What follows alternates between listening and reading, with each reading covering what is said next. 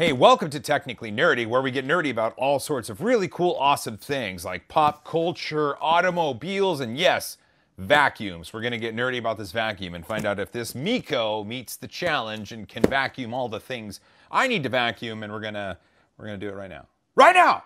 I'm going to use this pancake flipper and I'm going to cut the tape. There we go. This was sent to me for review because I have some vacuuming needs and the nice people that sent it said, well, here, try this out. The Meco rechargeable handheld vacuum cleaner. And look at that. That is a manual teaching you how to vacuum. And inside the box, we have the vacuum. Ooh, look at that. It's wrapped in plastic. That's fantastic. I rhymed. Also a Barbie song. Here's some accoutrement, some some things. Oh, and the base, and oh, a carrying case in case I want to take it places. And uh, this is a brush for cleaning. That's recyclable. I do want to make mention. Let's see. It's four in one, wet or dry, an electric indicator of battery life, two levels, uh, Roman numeral one and Roman numeral two, low noise and two filtering. It's got two filters. So I think what we need to do is take a look at this. This looks like an interesting vacuum. I mean, I'm old. I grew up around the dustbuster age, and so I, I have an idea of how these things work. And uh, it vacuums up, and then this kind of filters it just right there. And then what's kind of interesting, these always have some sort of little um, thing. So it goes in it, but it can't goes out. And look at that.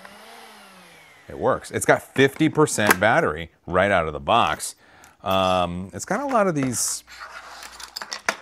Look at that. It's got this this fine vacuum attachment. This is like the super filter right here. I would imagine one of these is probably because it's wet dry. So one of these filters is going to be for the wet. One is going to be for the dry. Here is uh, you know, another thing. I don't know.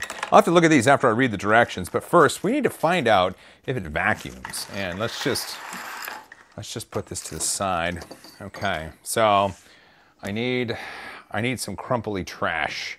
Here's what we got. I've got these uh, Girl Scout cookies because I think we have to have some in here. Mm, You're eating it, and oh no, oh no, Sean, it made a mess. Don't make a mess. Oh, dang it! Oh, and I stepped on it. Oh no, oh no. Godzilla was like, "Rah, rah, rah." we have a mess. Thankfully, we have this Meco vacuum. So here we go. Here we go. Oh, I have to hold it down. I hold it down. Okay. Oh, maybe maybe it's out of battery. Oh, it just went down. Maybe for these tests we need to plug it in. Maybe. It showed 50% on the battery. Let's see if it can vacuum and charge at the same time.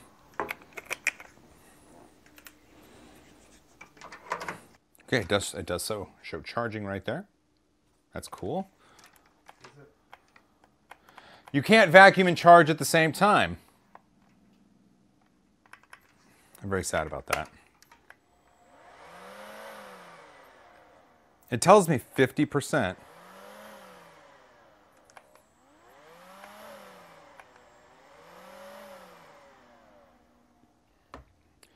Okay, the lights light up at 50% and then it just doesn't work, which leads me to believe it's not actually giving me an accurate charge representation. That's fine. Let's charge it for five minutes.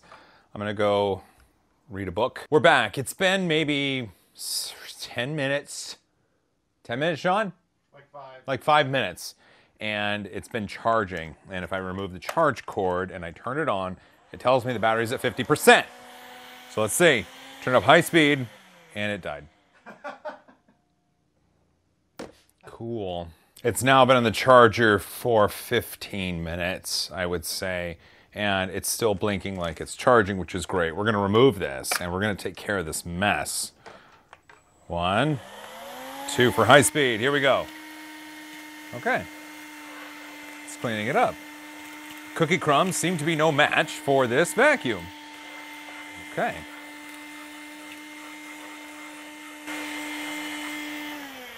Look at that. We got the big chunks and they're actually held right in there. So there they are. I Have to find the adapter. Okay. Look at that.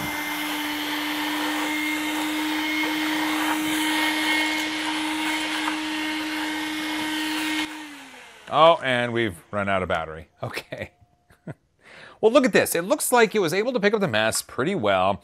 And if we take this part off and we take the filter out, and I hold out my hand, there's all the cookie crumbs right there. So we were we were able to pick up some cookie crumbs with the limited amount of battery that we had. So now the idea is to put it on the charger for longer. And let's see, we're gonna tackle the stairs and my car. See you in a bit. Ten bucks if you eat the cookies.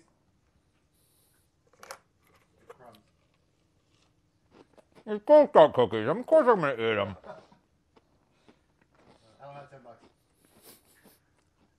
We're here on the floor. It's behind my workbench, and there's some crap on the floor here. I'm going to zoom in, just in you know filament scraps and whatnot. We're going to see if this bad boy can pick them up.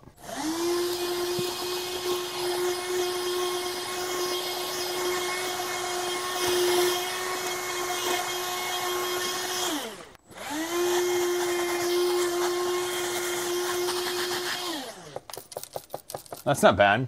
Oh, we got some filament scraps in there, so let's take it to the stairs. Okay, we're on the stairs. Hey, and oh no, there's crumbs on the stairs.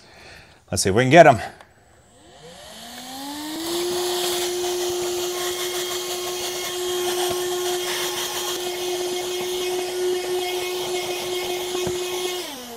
Hey, look, just like that, we got some cookies right there. Okay, last test. Oh, last test. Last test is the car. You can kind of see right here, this is the, the passenger footwell. And what I'm gonna do is put this one on and I should be able to, well, let's see. So the gum wrappers and stuff, we can just kind of get over there in that rock. We don't need the rock, but see if we can clamp some of this. And now we can put on the furniture one.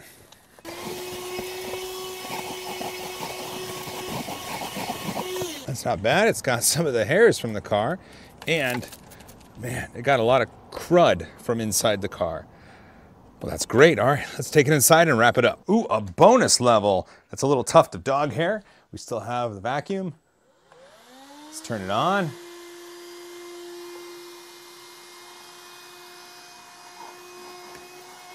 There we go. Dog hair taken care of.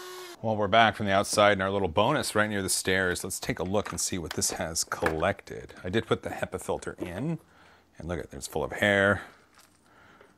Okay. Wow. So that's all the dust. There's some dog hair. There's the treats. No, I'm not eating those, Sean. I'm sorry. The vacuum did pick up quite a bit of stuff. It may be that the charging circuit will more reliably tell you the actual percentage of battery left once it's gone through a full charge or two or so. But until then, I'm going to have to knock some points off for that battery. Uh, it's available on Amazon. I think uh, it did exactly what a vacuum is supposed to do. It picked up stuff. I'm used to a bigger vacuum, something with a beater bar, something that you can roll over the carpet and pick up all the stuff. This is great for the quick fixes. This is the dust buster that uh, I really needed in the studio. So if you're interested in something like this, I can tell you that it did what it was supposed to do. And if you want to look further, there is a link in the description. Thanks for watching us here on Technically Nerdy. Be sure to stay tuned for more nerdy things. And don't worry, you'll see Sean's smiling face soon enough. We'll see you on the next one. Keep it nerdy.